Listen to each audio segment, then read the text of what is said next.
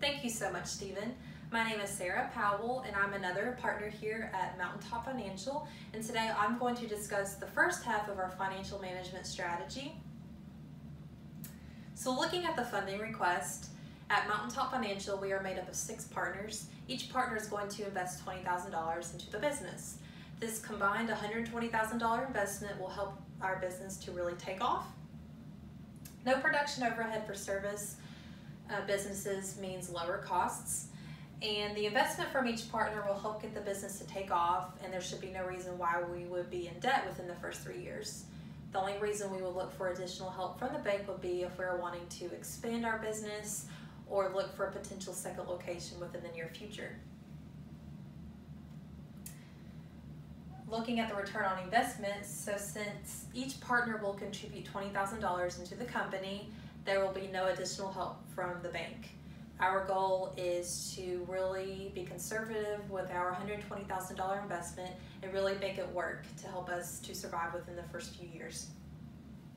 The goal is for each partner to have a return of investment of 20% by year three. And then our pro forma financials predict a return of investment of more than 67% by year three.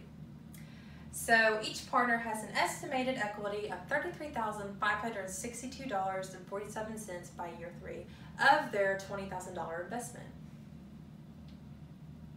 So now we're going to look at our pro forma cash flow statements for years one through three, one through three. And this is a prediction for the first three years. So looking here at year one, we have all the 12 months listed. So we have cash receipts and cash disbursements. Cash receipts is made up of the partner's contributions and the sales. So we have a total cash receipts for all 12 months of $320,217.08. And then cash disbursements, which is made up of startup costs, rent, utilities, salaries, payroll taxes, advertising, um, insurance. That is $263,401.60. This means that our cash receipts are more than our cash disbursement, disbursements. This makes it a positive cash flow of $56,815.48. Now looking here at year two, we have a total cash receipts of $565,200 and then total cash disbursements of $502,015.48. This means we have a positive cash flow of $63,184.52.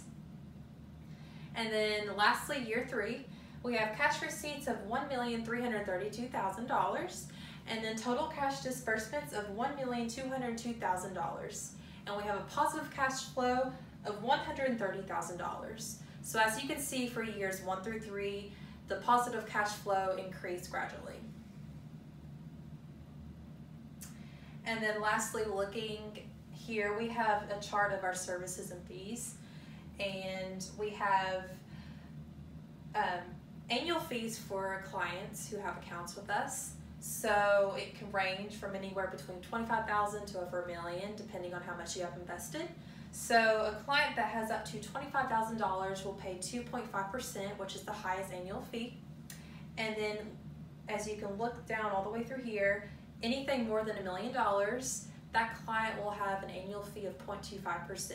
So basically, the more money a client has with us, the lower their annual fee will be. And you can see that on this chart through here. And then we also have our hourly engagements, which equals $180 an hour to speak with an advisor, depending on whatever service you need done. And then we have income taxes. So income simple income tax returns would be $40 and then itemized income tax returns will be $55. And that concludes my part of the financial management strategy, and Ms. Amanda Holberg will take on the second half. Thank you so much for your time.